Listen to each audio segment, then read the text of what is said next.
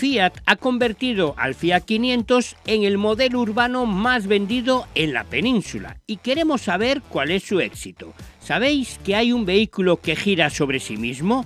Os lo presentamos en el día de hoy.